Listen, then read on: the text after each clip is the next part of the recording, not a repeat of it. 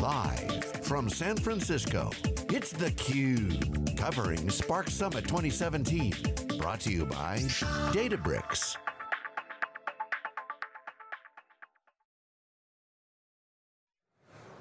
Welcome back, we're here at theCUBE at Spark Summit 2017. I'm David Goad, here with uh, George Gilbert. George?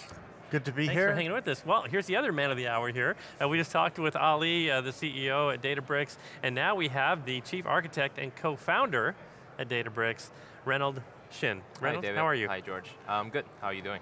Awesome. Are you enjoying Good. yourself here at the show? Absolutely. It's uh, fantastic. It's the largest summit. Um, there's a lot of interesting things, a lot of interesting people to uh, meet. Yeah. Well, I know you're a really humble guy, but I had to ask Ali, you know, what should I ask Reynold when he get up here? He said, well, Reynolds one of the biggest contributors to Spark. And uh, uh, you've been with us for a long time, right? Uh, yes, yeah. The uh, been contributing for Spark um, for about five or six years, and uh, I guess yeah, has probably the most number of commits um, to the project, and uh, lately more um, working with other people to help um, design the roadmap for both Spark and Databricks uh, on time. Okay. Well, let's get started talking about some of the new developments that you want, maybe our audience uh, at theCUBE hasn't heard here in the, in the keynote this morning. Sure, yeah. What are some of the, the ex most exciting new developments? So I think in general, if you look at Spark, there are um, three directions I would say we're doubling down. Um, one, the first direction is the uh, deep learning. Like deep learning is extremely hot and um, it, it's very capable, but as um, we alluded to earlier in uh, a blog post, um, I think deep learning has reached sort of a MapReduce point in which it has shown its tremendous potential, but the tools are very difficult to use. And we're hoping to sort of democratize deep learning and do it Spark, what Spark did to big data, to deep learning, um, with this new library called Deep Learning Pipelines. So what it does, it integrates um, deep learning, um, different deep learning libraries directly in Spark and can actually expose models um, in SQL, so even the business analysts are capable of leveraging that. So that's one area, deep learning. The second area is streaming.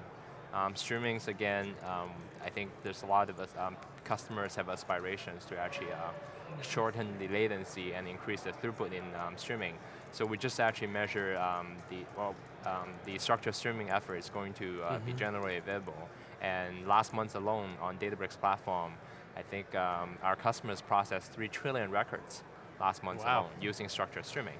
And we also have a new effort to actually uh, push down the latency all the way down to a sub-millisecond range. So you can really do blazing fa blazingly fast um, streaming analytics.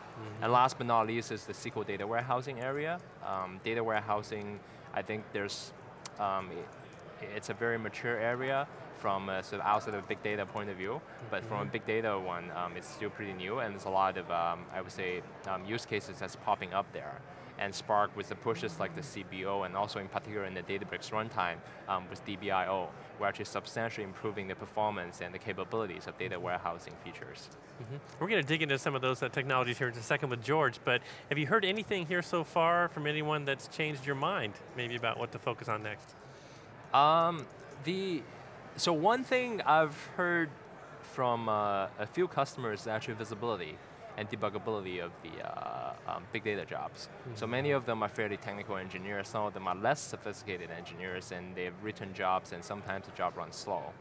And the, as sort of the performance engineer in me would think, so how do I make the job run fast? But a different way to actually solve that problem is, how can we expose the right information so the customer can actually understand and figure it out themselves? This is why my job is slow and this is how I can tweak it to make it faster. And kind of, um, rather than giving people the fish, you actually give them the tools to fish. Mm-hmm. Just going to call that buggability, Yeah, debuggability debuggability. and visibility of the, uh, All right, awesome. Uh, George? So uh, let's go back and unpack some of those kind of juicy areas that you identified. The, um, on deep learning, um, you were you were able to distribute, if I understand things right, the the predictions. You Yep. could put models out on a cluster, um, but the the really hard part, the compute intensive stuff, was training Yep, across a cluster, and so like deep learning 4J and I think Intel's in, um, Big DL, they were written for Spark to to do that, but Yep. with all the excitement over some of the new frameworks. Um, are they now at the point where they're good, as good citizens on Spark as they are on their native environments? Yeah, so this is a very interesting question. Um, obviously, a lot of other frameworks becoming more and more popular, such as uh, TensorFlow, MXNet, um, Theano, Keras, and all of this. The, um, what the deep learning pipeline library does, it actually makes, exposes all this deep learning, single node deep learning tools that's highly optimized for say even GPUs or CPUs um, to be available as a um, estimator or like a module in the pipeline of the machine learning pipeline library in Spark.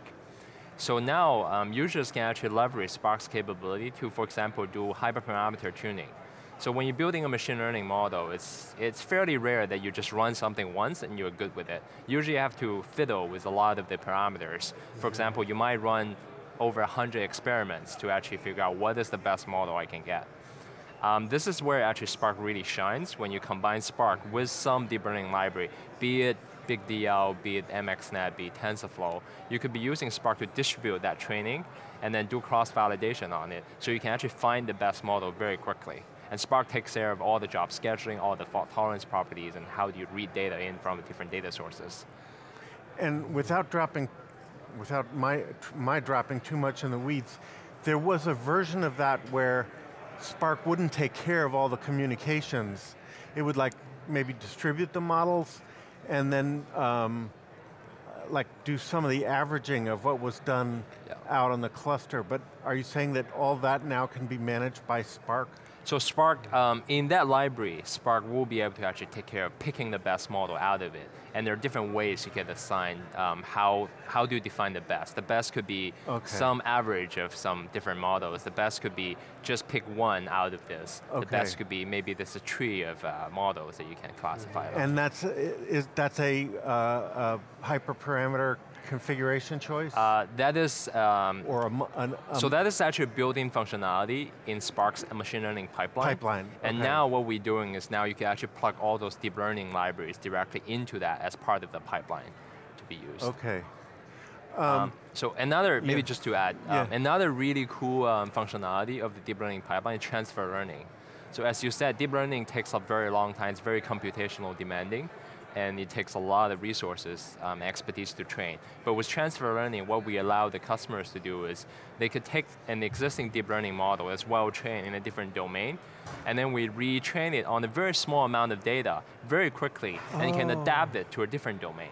That's like how sort of the uh, uh, demo on the James Bond car. Right. So there's a gen generic image classifier, but we train it on probably just a few thousand images, and now we can actually detect whether a car is James Bond's car or not. Oh, and the implications there are huge, which is you don't have to have huge tra da training data exactly. sets for you know, modifying a similar mo a model of a similar situation.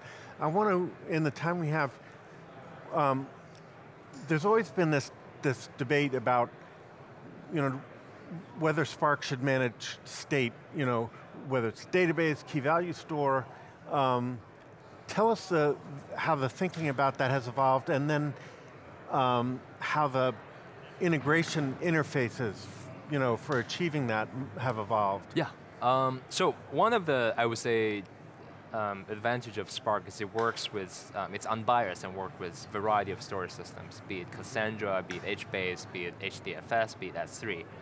Um, it's, um, there is a, I would say, a metadata management um, functionality in Spark, which is the catalog of tables that customers can define, but the actual storage uh, sits somewhere else. And I don't think that will um, change in the near future because we do see that um, the storage systems have matured significantly in the past few years. And uh, I just wrote actually a blog post um, last week about uh, the advantage of S3 over HDFS, for example. The storage price is being driven down by almost a factor of 10x um, when you go to the cloud. And I, I, I, just don't think it makes sense at this point to actually build, be building storage systems um, for analytics. That said, I think there's a lot of building on top of existing storage system. There's actually a lot of um, opportunities for optimization on how you can leverage the specific properties of the underlying storage system to get to maximum performance. For example, how do you do in intelligent caching? How do you start thinking about building indexes um, actually against the data that's stored um, for scan workloads. With tungsten, so you, where you have, you take advantage of the latest hardware and where we get more memory intensive systems, and now that the Catalyst optimizer you know, has, has a cost-based uh, optimizer, or, or will be, you know, and large memory, can you change how you go about knowing what data you're managing in the underlying system and therefore achieve you know, a tremendous uh, acceleration in performance? So this is actually one area we invested in sort of in the DBIO uh, module as part of Databricks runtime. And what DBIO does, um, it, a lot of this are still in progress, but for example, we're adding some form of indexing capabilities to actually the system, so we can quickly skip and prune out all the irrelevant data when the user is doing simple point lookups, or if the user is doing a scan-heavy workload with some predicates. Um, that actually has to do with how we think about the underlying data structure. The storage system is still the same storage system like S3, um, but we're adding actually indexing functionalities on top of it um, as part of the. And, and so what would be the application profiles? Is it, is it just for the analytic queries or you know, can you do the, the point lookups and, and updates in that sort of scenario too? Yeah, so it's interesting you're talking about updates. Updates um, is another thing that we've gotten a lot of feature requests on. Um, we're actively thinking about how we would support update workload. Now, um, that said, I just want to emphasize um, for both use cases of doing point lookups and updates, we're still talking about in the context of analytic environment. So we'll be talking about, for example, maybe bulk updates or low throughput updates rather than um, doing transactional updates in which every time you swipe a credit card, some record gets updated. That's probably more belongs on the, the uh, transactional databases like an Oracle or uh, like MySQL. Um, what about um, when you think about uh, people who are going to run, they started out with Spark on-prem, yep. they realize they're going to put much more of their resources in the cloud, but with um, IIoT, industrial IoT type applications, they're going to have um, Spark maybe in a gateway server on the edge. Oh. What, what, do you think that configuration looks like? Uh, it's really interesting. Um, so it's kind of two questions maybe. The first is the hybrid on-prem cloud uh, solution. So um, again, one of the nice advantage of Spark is decouple of storage and compute. Mm -hmm. So when you want to move, for example, workloads from on-prem to the cloud, um, the one you care the most about is probably actually the data, because the compute, um, it doesn't really matter that much where you run it, but data is the one that's hard to move. Um, we do have customers that's leveraging um, Databricks in the cloud, but actually reading data directly from on-prem and rely on sort of the caching solution we have. They minimize the data transfer over time, and this is kind of one um, route I would say it's uh, pretty popular. Um, another one is like, um, with Amazon, you could literally give them this snowball uh, yeah. functionality. You give them hard drives with trucks. The trucks will ship um, your data directly put in S3. Um, the, with IoT, um, what the, a common pattern we see is a lot of the edge devices um, would be actually pushing the uh, data directly into some sort of fire hose like Kinesis or um, Kafka or I'm sure Google and uh, Microsoft both have their own uh, variants of that. And then use Spark to directly subscribe to those topics and process them in real time with structured streaming. And so would Spark be down, let's say, at the, at the site level, if not on the device itself? So most, um, it's an interesting thought and maybe one thing we should actually consider more in the future is how do we do push Spark to the edges. Right now it's more of a centralized model in which the devices push data mm -hmm. um, into Spark, which is centralized somewhere. I've seen, for example, um, one, uh, I think, I, I, don't remember exactly use case, but it has to do with uh, um, some scientific experiment in the North Pole. And of course there you can, you don't have a great uplink of all the data connecting, transferring back to some, say, national um, lab, and rather they would do Spark processing there, and then ship the aggregated result back. Um, there's another one, but it's less common. All right, well, just one minute now before the break, so I'm going to give you a chance to address the Spark community. What's the next big technical challenge you hope people will work on uh, for the benefit of everybody? Um, I think, in general, um, Spark came along with um, two focuses. One is uh, performance, the other one is ease of use. Mm -hmm. And I still think big data tools are uh, too difficult to use. Um, deep learning tools even harder. The uh, mm-hmm. bar, um, the barrier to entry is very high for all of those tools. Um, I would say um, we, we might have already addressed performance to a degree that I think it's actually um, pretty usable. The systems are fast enough. Mm -hmm. Now um, we should work on actually making sure systems even easier to use. And it's what also uh, we focus a lot on at Databricks here. Democratizing access, right? Absolutely. All right, well Reynold, I wish we could talk to you all day. This is great, we are out of time now. I want to appreciate you coming by theCUBE and, and sharing your insights and good right. luck with the rest of the show. Thank you very much, appreciate David. It. And, uh, Thanks, Reynold.